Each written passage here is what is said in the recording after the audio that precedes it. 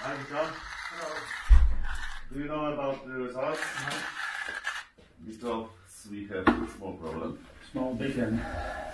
Because uh, Ella and Shalupa and Courage are positive. They should be tested again because of, you know, uh, proof that it's positive for sure.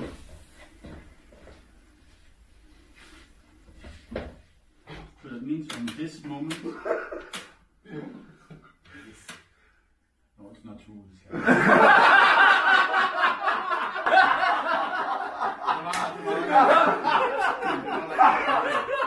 Sorry.